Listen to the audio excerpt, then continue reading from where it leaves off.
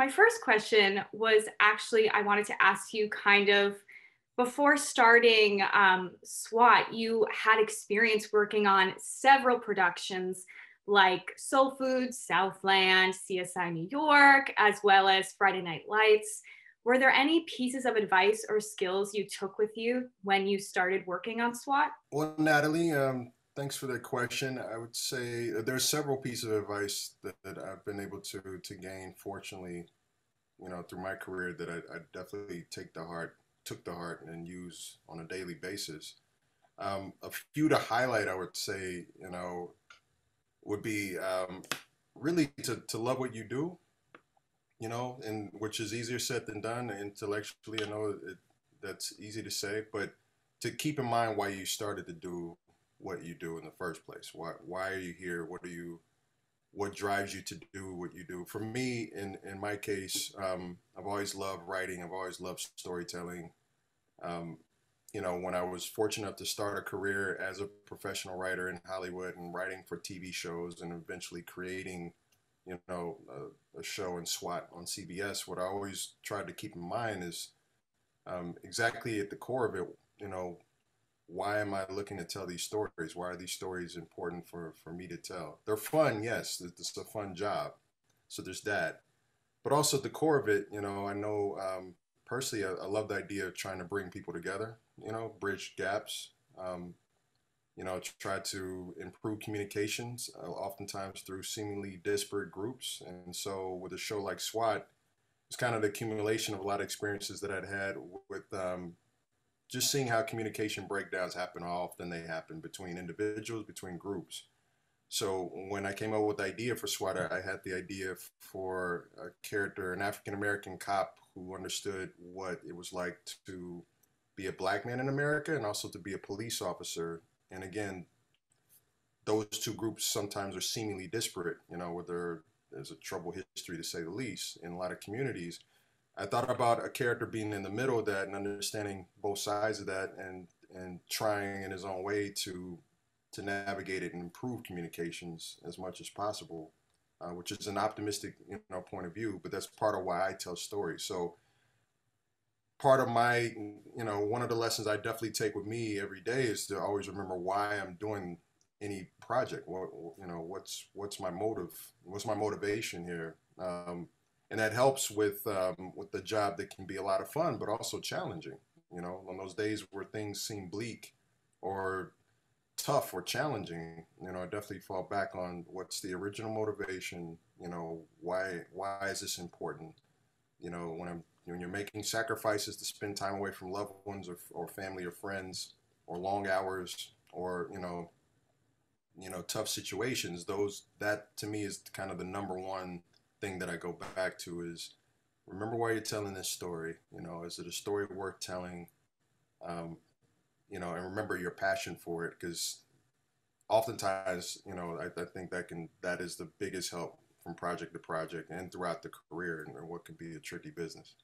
And you were talking about communication and kind of having those discussions and creating a show that you know swat focuses a lot on the discussions around you know black lives matter and blue lives matter and especially you know after the murders of breonna taylor and george floyd i know the first episode of your recent season talked about police brutality and i was wondering how those conversations kind of came about when you were talking to your cast and writers and your co-creator? Well, I mean, we're fortunate on on SWAT that we have, you know, and I should preface it too by, by saying that I'm, I've worked, you know, I co-created SWAT with Shawn Ryan, who is, um, you know, very esteemed, you know, creator of The Shield and and and creator showrunner um, of various different projects throughout the years. So I was very blessed to to work alongside Shawn and learn from him in many ways. Um, we're fortunate also to, you know, even extend it beyond the two of us to have a team of individuals who were all interested in telling stories that would, you know, add layers to the national conversation in various different ways. So it was never really a challenge either, even from the beginning, to you know, to communicate what the mission was, you know, what types of stories we wanted to tell. You know, we're fortunate to have um, great support from Sony um, as a studio and from CBS as a network. You know, um, one of the, the mandates that we had in the very beginning that, you know, I was even guilty of, you know, was this idea of whether or not audiences and frankly the business would be ready to try to tell police stories in a different way. Uh, one of the, the biggest notes we got early in the pilot process was, you know, don't write what you think that we want, write, you know, what you actually want to see. Uh, that came from CBS, surprisingly.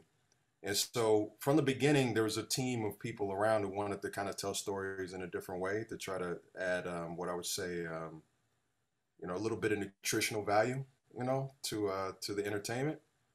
Um, and so with that, you know, we we look to to we've always looked to try to take the ball and run with it, so to speak, and to really, you know, look to always balance out or be grounded premises, grounded characters, layered characters, three-dimensional points of view based on the, collaborators who we have, the, the talented writing staff that, that we had in place, the directors, the the cast.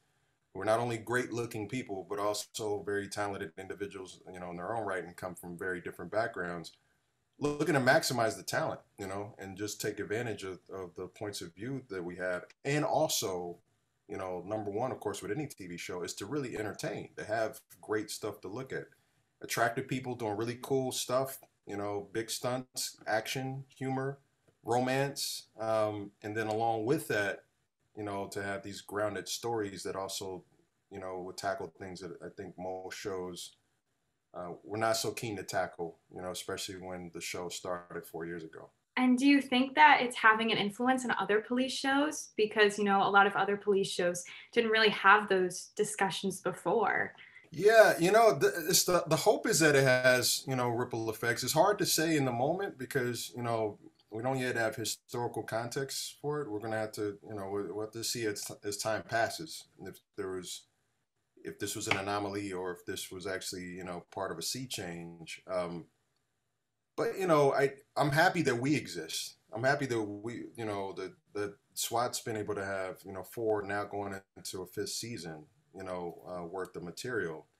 Um, you know, I should also, you know, explain. Even though I'm co-creator of SWAT, I I decided to move on after season four. So, um, so I, I wish the show well, and I know it'll continue to tell, you know, great stories. Um, but you know, the that that whole idea of of kind of how what kind of effect it has on on other productions is hard to say. Every production is so different. You know, I do think the national conversation um, seems to have changed the climate in a way that that you know is different than than before. We're having conversations now that we didn't have before.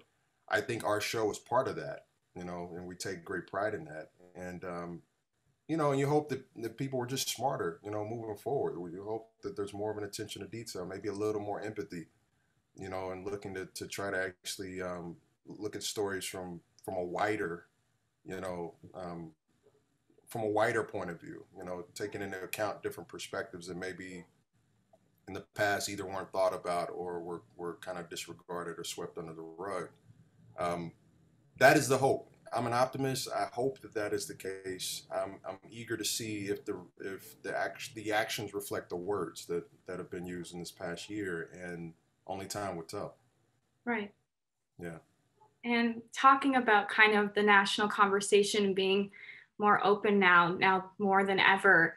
Have your own perceptions kind of evolved or been reinforced in, of the police or that system since working on SWAT? That's a good question.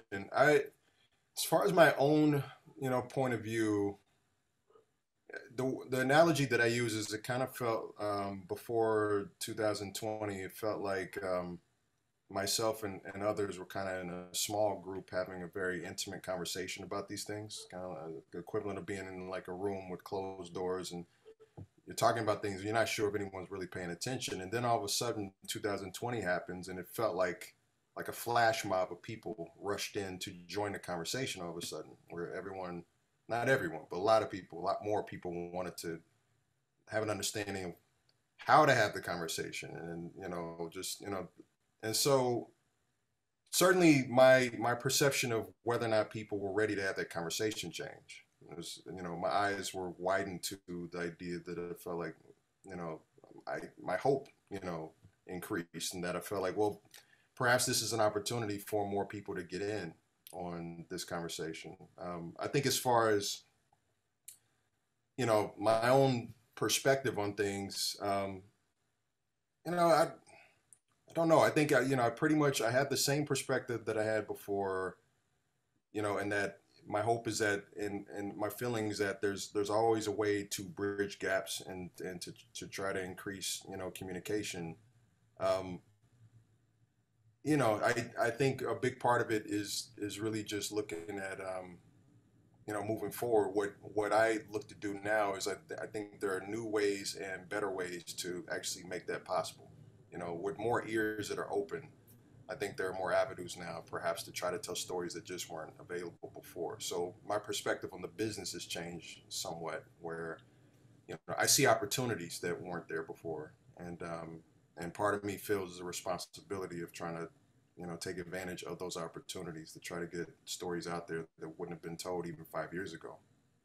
Right, and I think art does a great job in kind of even helping start those conversations or you know create space for that. Um, and i was curious because you said you were kind of moving on. I was wondering since the show started in 2017 and, and now it's going on to its fifth season as you kind of head off what ha- what has been the most fulfilling part of working on swat so many things you know definitely the people um, from shawn ryan to the people at sony to um, you know, to the people at CBS who um, I've worked with for a long time since the beginning of my career, to our writing staff, to our very talented cast, to our production team, which is outstanding and worked through COVID like champions.